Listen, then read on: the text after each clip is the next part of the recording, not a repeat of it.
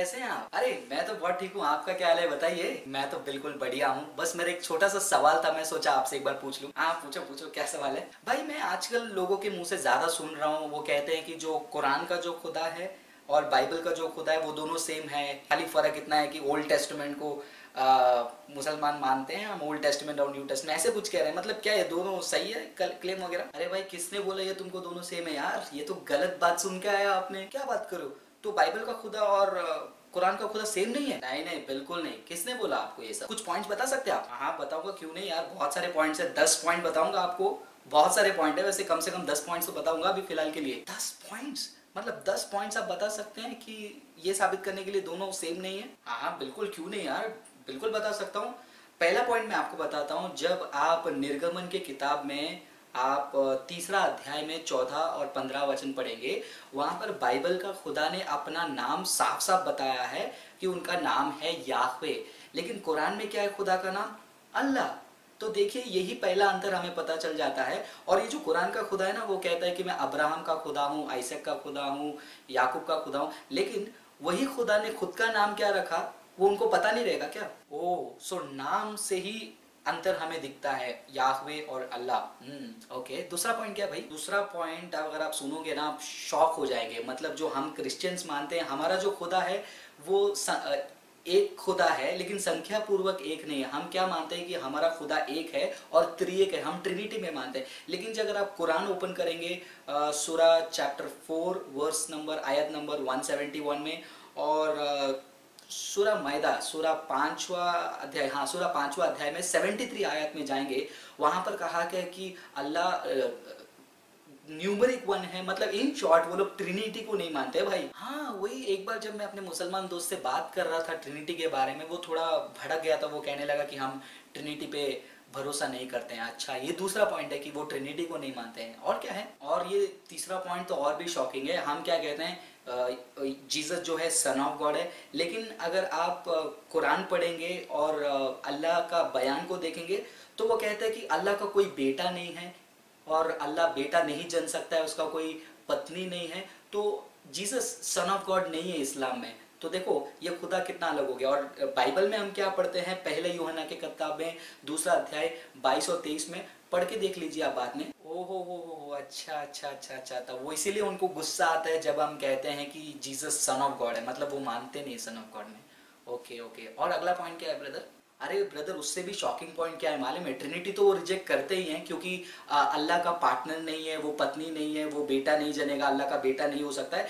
लेकिन जो Christians Trinity को मानते हैं ना, वो भी वो अल्लाह ने गलत समझ लिया। अगर आप सूरा पाँच में आयत नंबर 116 पढ़ेंगे तो वहाँ पर जो ट्रिनिटी का विवरण दिया, वो बिल्कुल गलत है। हम लोग क्या मानते हैं? मत्ते अट्ठाईस उन्नीस के हिसाब से और बहुत सारे वचन के हिसाब से ट्रिनिटी में पिता, पुत्र और पवित्र आत्मा, बराबर? लेकिन उन लोग क्या मानते हैं? अल्लाह, मरियम और यीशु, ये थोड़ी हम मानते हैं। अच्छा। तो वो जब ट्रिनिटी कहते हैं तो सूरा पाँच, एक सौ सोलह में ट्रिनिटी अल्लाह अल्लाह मरियम और यीशु है। लेकिन हम लोग तो मत अट्ठाईस, उन्नीस में और काफ़ी सारे वचन में पढ़ते हैं, ऐसा नहीं ना, पिता, पुत्र, पवित्र आत्मा है। Okay okay. और अगला पॉइंट क्या है भाई? मैंने जो बताया वही मेरे लिए आप रिपीट कर रहे हो क्या? अच्छा अगला पॉइंट क्या है? ये हमारे क्रिश्चियनिटी के लिए बहुत ही बुनियादी फाउंडेशन पॉइंट है और वो पॉइंट को रिजेक्ट करने के लिए ही शैतान ने जो है बहुत सारा तरीका ढूंढा है। क्या है वो? अगर आप सूरज चार, आयत नंबर 157 पढ़ोगे ना, वहाँ पर क्लियरली लिखा है कि यीशु मसीह ना सूली पर चढ़े और यीशु मसीह ना सूली पर मरे। मतलब यीशु मसीह सूली पर चढ़ना, मरना, पुनरुत्थान होना, ये इस्लाम सिखाता ही नहीं है। अरे बाप रे हाँ हाँ इसीलिए वो लोग बोलते हैं कि ईसा मसीह को ईसा इस्लाम को सूली पर नहीं चढ़ाया, वो तो हमारा बुनियादी बात है और इसका ऐतिहासिक सबूत है, फिर भी कैसे वो रिजेक्ट कर सकते हैं?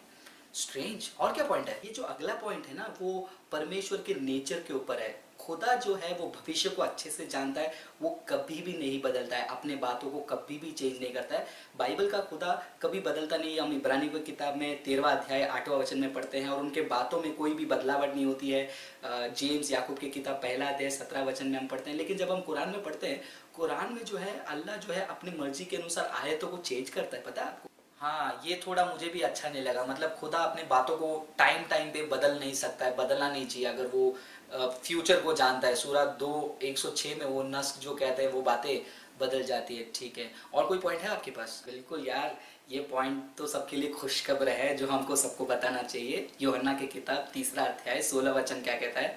खुदा ने इस जगत से इतना प्यार किया कि उसने अपने लिए, हमारे उद्धार के लिए अपना इकलौता पुत्र दे दिया ताकि हम उद्धार पाए। मतलब बाइबल का खुदा है, वो पूरे जगत से प्रेम करता है। लेकिन जब आप कुरान की बात करोगे, बत्तीसवें आयत में तेरहवा वचन को पढ़िए, वहाँ पर अल्लाह ने कुछ लोगों को नर्ग के लिए ही बनाया गया है।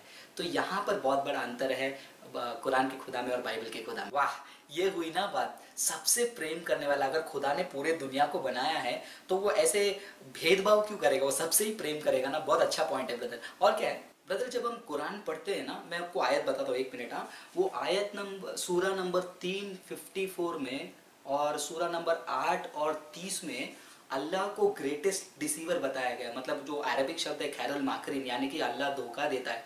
लेकिन जब हम बाइबल पढ़ते हैं ना, पहला कुरंतियों की किताब में, चौदह अध्याय में, तैतीसवें वचन में, वहाँ पर लिखा है कि हमारा खुदा जो है, उलझन का खुदा नहीं है। लेकिन अगर आप इस्लाम के खुदा के बारे में बात करें, यीशु मसीह को सूली पर चढ़ाया, नहीं चढ़ाया, किसी को भी नहीं मालूम। और आयत खुद कहता है कि ही इज़ ग्रेटेस्ट डिसीवर ये बहुत ही डरावनी चीज़ है खुदा के लिए ये बात होना। नहीं नहीं नहीं नहीं, खुदा के लिए बिल्कुल ये शब्द माखर, ये शब्द बिल्कुल जचता नहीं है। नहीं नहीं नहीं ब्रदर गलत है गलत है, बिल्कुल। अब मैं तो ऑलमोस्ट मैं कन्विंस हो गया हूँ कि दोनों अलग है। और क्या पॉइंट है?